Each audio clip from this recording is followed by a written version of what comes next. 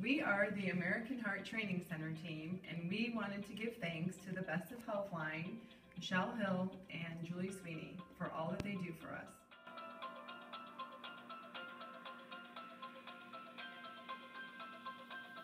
Hello. Oh, hi.